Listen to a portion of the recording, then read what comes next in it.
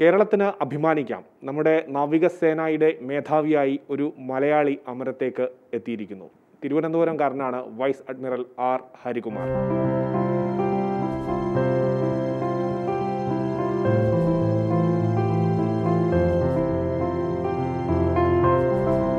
ഞാനിപ്പോൾ ഉള്ളത് അദ്ദേഹത്തിന്റെ തിരുവനന്തപുരത്തെ വീട്ടിലാണ്.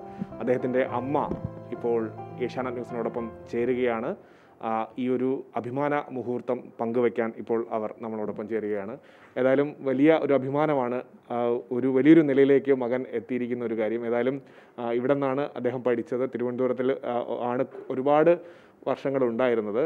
എന്ത് പറയുന്നു? ആദ്യം തന്നെ ആ ഒരു നേട്ടത്തിന് എങ്ങനെ കാണുന്നു? വളരെ പ്രൗഡാണ്. ഒരു പതിനേഴ് വയസ്സ് മുതൽ അവൻ നേവിക്ക് വേണ്ടി രാജ്യത്തിന് വേണ്ടി പോയതാണ്. അപ്പോൾ ഇടയ്ക്കിടയ്ക്ക് വല്ലപ്പോഴും വന്ന് കാണും. വല്ലപ്പോഴും ഞങ്ങളും പോയി അവന്റെ അടുത്ത് നിൽക്കുമായിരുന്നു. അങ്ങനെ ഉള്ളൊരു ലൈഫാണ്. ഹാർഡ് വർക്കിംഗ് ആണ് അവൻ. അവൻ മിക്കവാറും ഈ നിലയിൽ എത്തും എന്നുള്ള ആ ഒരു ഇത് നേരത്തെ തന്നെ നമുക്ക് തോന്നി തോന്നിയിട്ടുണ്ട്. അത്രയും ഹാർഡ് വർക്കിംഗ് ആണ്. അങ്ങനെ സത്യസന്ധനാണ്. Very truthful no bad habits അങ്ങനെ ഉണ്ട്. പിന്നെ ഹിയസ് ഒരു എനിക്ക് അവൻ ഒരു ഇത് തന്നിട്ടുണ്ട്. അവൻ ഡ്രിങ്ക്സ് ഒന്നും കഴിക്കില്ല. That was what I felt നേവിയിൽ join ചെയ്യുന്നു പറയുമ്പോൾ എനിക്ക് അതായിരുന്നു ഏറ്റവും വിഷമം.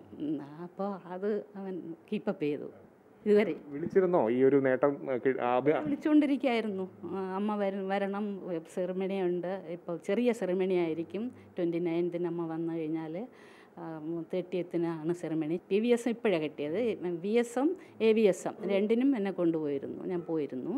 V S P V A V S രാഷ്ട്രപതി ഭവനിലായിരുന്നു. അതിന് കൊണ്ടുപോയിരുന്നു. എങ്ങനെയായിരുന്നു ഈ പഠനം കുട്ടിക്കാലം? ആ ഒരു കാലഘട്ടത്തിൽ ഈ ഒരു നേട്ടത്തിലേക്ക് നേവിയിലൊക്കെ എന്ന് പറഞ്ഞാൽ തന്നെ വലിയൊരു പാടായിരുന്നു. അപ്പോൾ ആ ഒരു കാലഘട്ടത്തിൽ നിങ്ങളുടെയൊക്കെ ഒരു ഗൈഡൻസ് ഉണ്ടായിരുന്നു? ഉണ്ട്. ഉണ്ട് എന്റെ ഗൈഡൻസ് തന്നെയായിരുന്നു. അച്ഛൻ എപ്പോഴും എന്റെ അടുത്തില്ലായിരുന്നു. He was working in F A C T തമിഴ്നാട്ടിൽ ഞങ്ങൾ ഒരു എട്ട് വർഷം ഒരുമിച്ച് കുട്ടികൾ ആയിട്ട് താമസിച്ചു. അത് കഴിഞ്ഞിട്ട് he was transferred to Karnataka. അപ്പോൾ പിന്നെ എനിക്ക് ഇവരുടെ പഠിത്തം ഇവന് ഇവിടെ വന്ന് സിക്സ്ത്തിൽ ജോയിൻ ചെയ്ത് കഴിഞ്ഞു. പിന്നെ ഇവിടുത്തെ സ്കൂളിലിങ് ആയിരുന്നു. അപ്പോൾ ലാംഗ്വേജ് പ്രോബ്ലം ഹിന്ദി ഇല്ലാത്ത സ്റ്റേറ്റിലൊന്നും പോയി കഴിഞ്ഞാൽ പഠിക്കാൻ ട്രാൻസ്ഫർ വന്നു കഴിഞ്ഞാൽ അപ്പോൾ തമിഴ്നാട്ടിൽ അതില്ലായിരുന്നു ഫിഫ്ത്ത് വരയ്ക്ക് പിന്നെ അതുകൊണ്ടാണ് ഞാൻ പിന്നെ ഇവിടെ വന്ന് സെറ്റിൽ ചെയ്തത്. ഞാനും കുട്ടികളുമായിട്ട് ഇവിടെ സെറ്റിൽ ചെയ്തു. അപ്പോൾ ഞങ്ങൾക്ക് കുറച്ച് പ്രോപ്പർട്ടിയൊക്കെ ഉണ്ട്. അപ്പോൾ അതിന്റെയൊക്കെ റെസ്പോൺസിബിലിറ്റി എല്ലാം ഇവൻ ഏറ്റെടുത്തു. ഇവൻ ഒരു എയ്ത്ത് നയൻത്തൊക്കെ ആയപ്പോഴത്തേക്കും അവൻ എനിക്ക് വേണ്ടി ചെയ്യുമായിരുന്നു അതെല്ലാം. എന്തായപ്പോൾ പറഞ്ഞു അമ്മ വരണ്ട ഞാൻ തനിയെ പോയിക്കോളാം. എന്ന് പറഞ്ഞിട്ട് കുറച്ച് റബ്ബറൊക്കെ ആയിരുന്നു. അപ്പോൾ അതൊക്കെ അവൻ പോയി എടുത്ത് കൊണ്ടുവന്ന് ഷോപ്പിൽ കൊടുത്ത് രൂപ മേടിച്ച് ബാങ്കിൽ ഇട്ടിട്ട് വരുമായിരുന്നു അത്രയും റെസ്പോൺസിബിലിറ്റി സ്റ്റേറ്റിൽ S S L C tenth അതിൽ റാങ്ക് ഉണ്ടായിരുന്നു. സെവൻത്ത് റാങ്കാണെന്ന് തോന്നുന്നു. അപ്പോൾ സ്കോളർഷിപ്പ് ഉണ്ടായിരുന്നു. രണ്ട് വർഷം പ്രീ ഡിഗ്രിക്ക് ചേർന്ന് രണ്ട് വർഷം scholarship. I think it was six hundred something അങ്ങനെ ആയിരുന്നു. പിന്നെ ഞാൻ അവനെ ഗൈഡ് ചെയ്യുന്നുണ്ടായിരുന്നു. മാത്സ് എനിക്ക് അല്ല ഞാൻ ആർട്സ് സബ്ജക്ട്സൊക്കെ പഠിച്ചതാണ്. അപ്പം ഹിന്ദി മലയാളം അതൊക്കെ എനിക്ക് ഹെൽപ്പ് ചെയ്യാമായിരുന്നു. അങ്ങനെ കോച്ചിങ് വേറെ ഒന്നും പോയിട്ടില്ലായിരുന്നു. വീട്ടിൽ തന്നെ ഞാൻ ഹെൽപ്പ് ചെയ്യുമായിരുന്നു. അപ്പോൾ ഈ കുട്ടികൾക്ക് വേണ്ടി ഞങ്ങൾ കുറച്ച് സാക്രിഫൈസ് ആയിരുന്നു. അതിപ്പോഴും ഇന്നും ഇപ്പോഴും അവൻ പറഞ്ഞു അമ്മയുടെ അച്ഛന്റെ സാക്രിഫൈസാണ് എനിക്കിപ്പോൾ ഇപ്പോൾ പറഞ്ഞുകൊണ്ടിരിക്കുകയായിരുന്നു.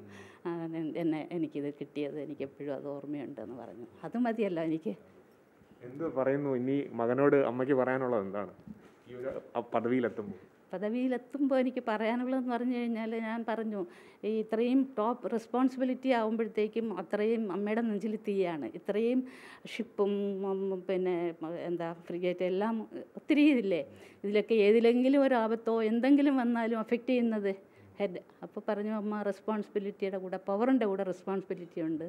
അമ്മയുടെ പ്രെയർ ഉണ്ടായിരുന്നാൽ മതി എന്നാണ് പറയുന്നത് മക്കളെ കുടുംബമൊക്കെ? അവന് ഒരു മോളാണ്.